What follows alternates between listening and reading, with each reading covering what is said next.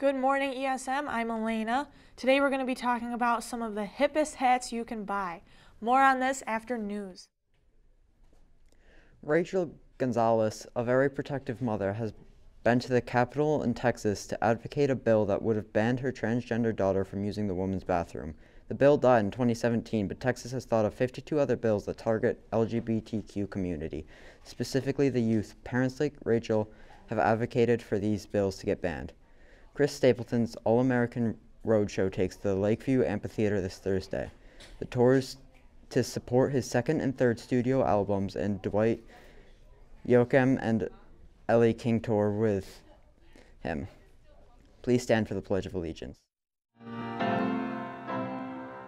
I pledge allegiance to the flag of the United States of America and to the republic for which it stands, one nation under God, indivisible, with liberty and justice for all.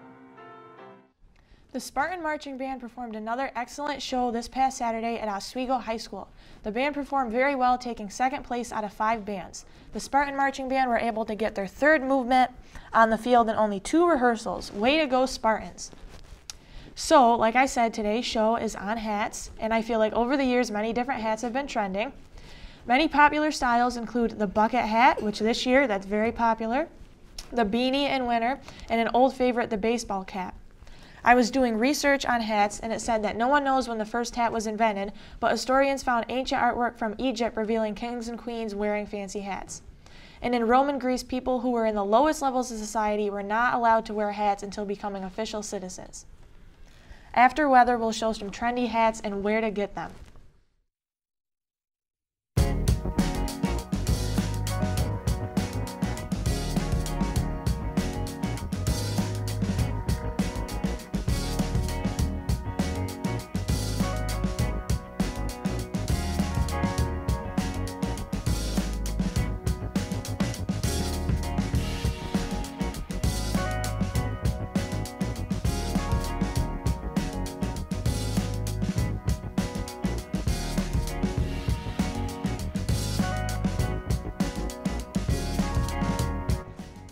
Today there will be a few showers with a high of 66 and a low of 58.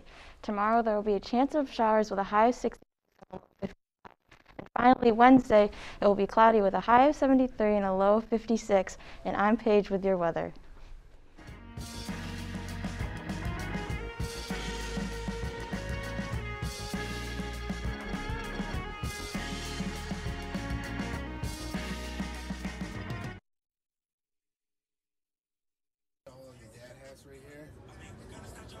These are all branded. Adidas, Champion. Uh, these are all logo.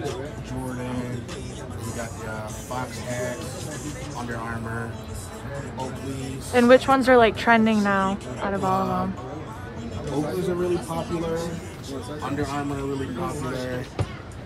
Nike are really popular. Uh, these are all the basketball Fitteds and snapbacks. A lot of people prefer fitted.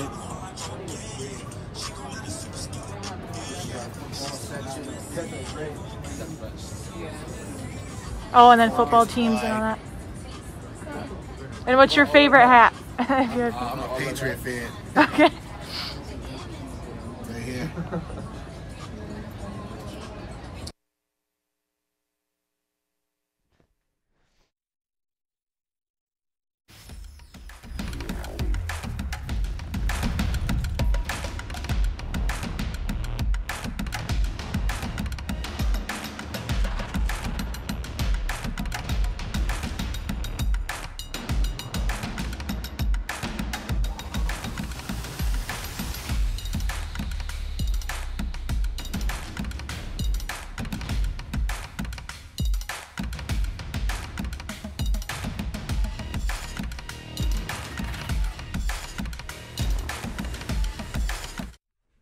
York football teams got their first wins yesterday.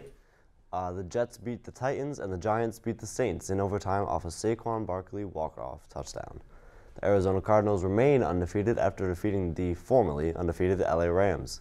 Buccaneers quarterback Tom Brady set the NFL passing yards record as well as becoming the fourth quarterback in NFL history to beat every single team after beating his former team, the Patriots. The Packers beat the Steelers 27 to 17. In the win, Aaron Rodgers reached his 420th career touchdown pass, tying Dan Marino for sixth. Ben Roethlisberger also reached a career milestone with 400 touchdown passes. The postseason schedule is finally set as the New York Yankees and the Boston Red Sox have punched their tickets to the wild card yesterday as both teams won. The AL wild card game is set for Tuesday at 8 in Boston. With the San Francisco Giants beating the San Diego Padres, they won the NL West that puts the Los, Los Angeles Dodgers in the NL wild card against the St. Louis Cardinals. And now, on to your local sports with Luke. The Orange lost a nail biter on Saturday 33 to 30 uh, to Florida State on a game-winning field goal by FSU. The gymnastics team defeated Proctor 127 to 107. Rhiannon Butchko, Kaylee Montana, Montana, and Ellie Mancini all scored over 26 in the all-around. Rhiannon Butchko and Mallory Kramer posted the highest scores for floor exercise, while the best score for vault and beam belonged to Ellie Mancini. Mancini pride. The football team lost to CBA on Friday 41 to 19. Quarterback Tyler Bell and running back Jackson Palin both scored rushing touchdowns, and sophomore receiver Jimmy Malbone led the game in receiving yards with 79.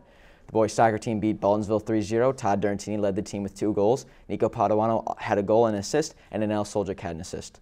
In upcoming games, both golf teams play against Oswego at 3.30. The tennis team has their sectionals match at Auburn at 3.30, and the field hockey team plays at home at 6.15 against Whitesboro, and the volleyball team plays at FM at 7. And I'm Luke with your sports.